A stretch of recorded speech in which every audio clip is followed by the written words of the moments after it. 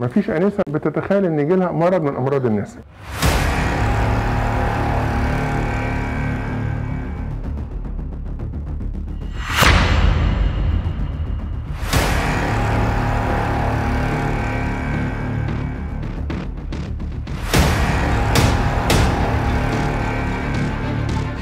بموت مليون مرة في اليوم. كان إحساس صعب إنك ممكن تروحي وما ترجعيش. ليه المرض ده بيجي للبنات؟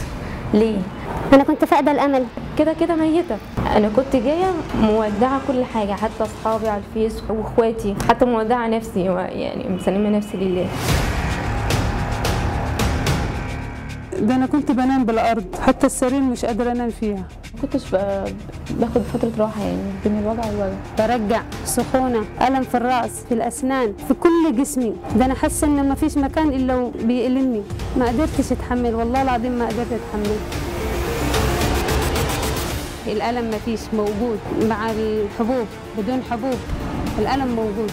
كل اللي يروح لا يقول الا ما تتجوز الا ما تتجوز آخر واحد قال لي إيه؟ ما لهاش علاج قال لي ما تروحي بيها أمريكا؟ ما فيش ما فيش حاجة زي كده أنا جيت بيها علشان شفتها هتتعذب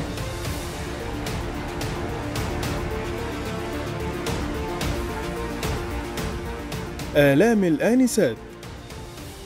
كيف يتم التعامل مع الآلام المختلفة للبنات؟ سواء في سن الطفولة عندها 12 سنة. لقيت بقى نزل دم نزيف. كانت البريود عندها متلخبطة. أسبوع خلص الامتحانات لقيت بقى نزل دم نزيف. كانت تعبت من سنة بالظبط. وجالها زي نزيف. عالجتها شهر بالظبط. وبعد كده رجعت تاني أو سن المراهقة. يعني ماما لاحظت حاجة غريبة بتنزل وأنا عندي البريد أو سن البلوغ. حسيت بألم في البطن جامد. فرحت للدكتور قال اللي هم أكياس وهيتعالجوا اللي هم عادي يصفوا يبقوا عاديين لقيت الوجع رجع أكتر بزيادة جامد وجع أكتر. هل هناك من يستمع بجدية لآلام البنات؟ كنت بحس بمغص ووجع آه، بالذات جنب اليمين. زيادة في البريود ووجع في ظهري أنيميا حادة. طبعا كانت بتعاني من آلام شديدة في بطنها كلها برجليها. البنت بتتألم أكتر وأكتر وأكتر. وهنا ما بقتش قادرة مش قادرة تعمل أي حاجة فيها بحس بوجع في ظهري وجنبي مرة جنب اليمين مرة جنب الشمال. مش بعرف اخد نفسي مش بعرف أتحرك كويس.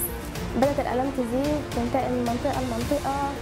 آه، لدرجة إني كنت سطيحه على السرير. دايما وجع جامد أثناء البريود تحديدا. وكانت بتنزل بنزيف شديد نزيف جامد أثناء الدورة الشهرية. ومغص جامد بالحوض والبطن. بحس بمغص ووجع. كان وجع فظيع جوايا ما كنتش بستحمل ما كنتش بقدر أعمل أي حاجة. ألم رهيب خالص. يعني بقعد اليوم كله أرجع لغاية اليوم ما ينتهي. كان بيجي لها تعب بالمغص بالاسبوع والدم الالم جامد. زايده على آه، مغص كلوي على يعني بهدلت بصراحة قوي. تعب شديد يعني كان بيبقى فيه وجع في بطني أثناء البريد وقبلها وبعدها. آه، كان الوجع غير عادي عندي. ما كنتش بقدر آكل ما كنتش بقدر أتكلم ولا أتنفس ولا أتحرك في البيت على طول نايمة. وكانت بتيجي بوجع شديد. كان عندي ألم شديد الأول كان في جنبي كان مرتبط بالدورة. وبعد كده بقى مستمر. كنت بحس إن أنا عايزة أرجع ورجلي وجعاني. مش مستحمل الألم وخدت مسكنات كتير بس ما نفعتش. كنت أعاني من نزيف جامد أثناء الدورة الشهرية. ومغص جامد بالحوض والبطن. قال لي دي بطانة يا ماما قلت له هي يعني يعني دي بطانة مهاجرة. قال لي لا مهاجرة ولا زفت. كان عندي نزيف عندي بطانة الرحم المهاجرة. بقالي كتير بعاني منها. وحاسة ألم بيمشي بالحوض لغاية الظهر لغاية جسمي كله.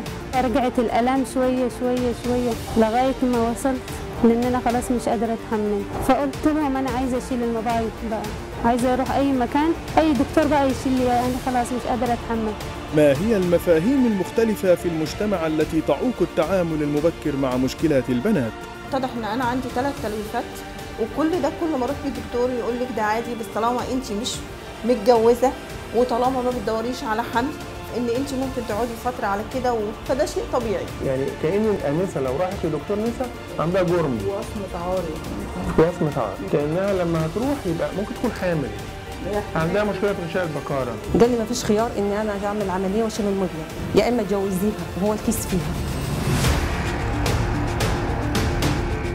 الدكتور قال لي إن أنا عندي حاجز رحم بس مش هينفع يتشال غير لما الغشاء البكاري بقى يا دكتور ما ينفعش النظام قال لي لا لو حد عمل نظام هيخرج من الرحم. قالوا لي هي بنت وانه صعب نعمل عملية دلوقتي وإنه تفضل كده تعاني. وطبعا كانت كل ما تدخل ال toilet الموضوع كان بيزيد وأنا بحس بحجم الكيس ده كان بيكبر أكتر. طب أروح أكشف طب في إيه؟ مفيش أي حاجة؟ طول ما أنت بنت ما تقلقيش. لما تتجوزي ابدأي دوري. كانوا هم في الأول فاكرين إن ده عادي يعني أو عشان أنا جسمي ضعيف شوية ما ينفعش تروحي لدكتور نسا وده عيب وده ما ينفعش. بس هو ملهوش أي علاقة انت بنت ما, بيجيش جنب أي حاجة. قال لي جوزيها وهاتيها لي. هنعمل لها عمليه عشان عمليه فهمت كل البيت رافض يعني إحنا جايين جايين محدش خالص. يعني المنطقة كلها لأن بالنسبة لنا ده حاجة سمعة كل حاجة ممكن تصوري ممكن يقول لك دي فيها حاجة مش هتخلف دي عفشة وراحوا بها بكان مثلا. حامل راح ينزلوها حمل أو حاجة زي كده. تفكير ضيق يعني. غلط. ان أنا نستناها تتعذب قدامي ونقول لما تتجوز. ابتديت بقى إن أنا أدور المشكلة فين. رحت طبعا يعني ما عملتش زي أي أم تاني مثلا أقول لا دي بنت ومش هروح لدكتور نسا. لا أنا ما عنديش الكلام ده. أنا قلت لا هروح لدكتور يعني أمراض نسا وكده وهشوف عندها إيه. لماذا تحتار البنت بين التخصصات للوصول إلى التشخيص المناسب؟ من دكتور لدكتور لدكتور كل دكتور يدوني حبوب منع الحمل. دخلوني المستشفى عملوا لي سونار. قالوا لي في حاجة على جدار الرحم حجمها سنتي في سنتي بس إحنا مش قادرين نحدد هي إيه. قالت لي البطانة دي ما وصلنا لهاش لعلاج نهائي عشان الواحدة تستريح منها. كل أغلب الستات بتعاني منها. فما فيش علاج. يا إما إنك تاخدي المبايض وتبقى ال- الرحم زي الحنفية اللي ما بتطلعش مية. محدش عارف كم واحد قال لي عندك الهرمونات بتاعت جسمك مش منتظمة وواحدة قالت لي عندك بطانة الرحم سميك واحد قال لي لا انت عندك التهابات في المهبل فأعراض كتير وعلى طول باخد أدوية غلط وبعد كده الوجع ابتدى يتطور معايا ما بقاش في بطني بس طلع على جنيه ادوني ثلاث شهور دواء أملاح للكلى وأنا ما عنديش أملاح أصلا. فطلعت حاجات أو رحت عند كذا دكتور بس كانوا اجمعوا إن هو إن هي أملاح. الدكتور قال لي أنا مش عارف ممكن تكون أورام. رحت عند دكاترة كتير وقالوا لي الرحم لون الورم في بطانة الرحم ولو جينا نعمل عملية وكده هنشيل الرحم. عملت كل الفحوصات اللازمه ليها. كل فحص يقول لي لا ما فيهاش أي حاجة هي بس هرموناتها لسه ما اكتملتش هي مش عارف إيه الكلام ده. فكل ما أروح للدكتور يقول لي إن هي أملاح أملاح. مش عايزة أقول إن أنا كنت كل شهر عند دكتور شكل. انذار إيه اللي بتعمليه ل- لبنت عندها 17 سنة البنت زي الفل ما فيهاش أي حاجة وهتخف وما تقلقيش. كنت بديها للدكاترة اللي يقول أملاح اللي يقول لي قولون اللي يقول زايدة. الدكتور الجراح فقال لي دي مش مرارة ده عندها كيس على المبيض. 9 سم ما أهمية الكشف المبكر للمشكلات عند البنات؟ يعني ما تلاقيش معايا في أي حاجة غير إنه قال لي هنشيل عارفة ليه قال كده؟ لأن حدد الأورام وأحجامها تضخم لدرجة إنه واخد كل كونتور البطن واخد لغاية الحجاب الحاجز فهيخش إزاي ده, ده يعني كل حد هيفكر ان لازم يفتح البطن كمان بالطول عشان يعرف يسيطر على الأورام دي فشوفي قد إيه إن إحنا لما بنتأخر بنبقى إحنا المريض والطبيب في ورطة؟ الاثنين في ورطة. يعني المريض مش عاوز يسمع كلمة إزاي آنسة هتشيل رحم والطبيب ما هو شوف ما هي جاية له متأخرة. هيغامر تشيل أورام تنزف منه. هيقول ساعتها لا إحنا مضطرين. فده إحنا بنقول بالصرخة دي. بالعنف ده يا ريت كل البنات تتحرك بدري.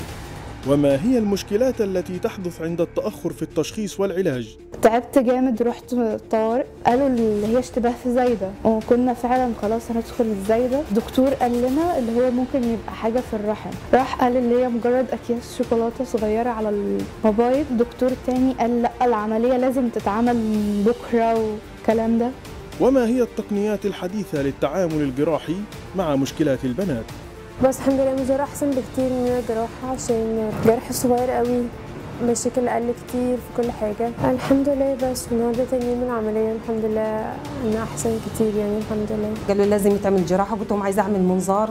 بعد كده قال لا ده أورام. لازم علشان كده يحصل عملية تنظيف. اضطريت ان أدخل بنتي في أوضة العمليات فتح بطن قيصرية على أساس إن هي أورام. بعدين حصلت المفاجأة إن هي طلعت أكياس دموية. فطبعا أنا ندمت ندم كبير إني أنا فتحت بطنها وعملت لها عملية قيصرية وهي كانت شلت بالمنظار. الأنابيب هي منتفخة مرتشحة وهنا ال- ال- المرارة كبيرة شوية. دخلنا بالمنظار. ورم نضيف عنيف ماشي عليه الأوعية الدموية دي. وبعدين عندنا واحد تاني. ممكن احتمال يكون في واحد تالت في ظهر الرحم. عشان بيقولوا مثلا بنت تستنى تظبط kissing ovaries مش داخلين عشان نشيل داخلين عشان نشوف الأول مدى انتشار المرض إزاي عشان كده ليه المنظار؟ يا دكتور سيد طب هتعملوا المنظار إزاي في وجود النزيف؟ قلت لها هاخد النزيف ده هو الأثر اللي همشي وراه. يعني ممكن نعمل نعمل منظار لأنسة؟ آه طبعا. يعني عندنا بنت أهي هل نعمل تدخل بدون شكوى مجرد إن إحنا لقينا ولا نستنى إنها ما تتجوز. هل يحتاج المجتمع إلى توعية أكثر بمشكلات البنات وضرورة التدخل المبكر؟ ده بقول وبنادي دايما وهقول لازم يبقى في يوم للفتاة المصرية والعربية إن يبقى في يوم كل المستشفيات شغالة على الكشف المبكر للانسات من أي أمراض متوقعة.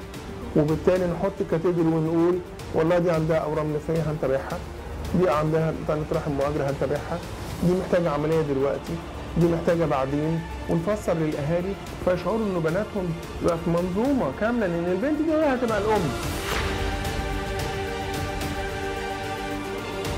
من العار في منظومة طبية تبقى محترمة داخل مصر وإلى الآن لسه بنات تبقى موجودة تستأصل ارحامهم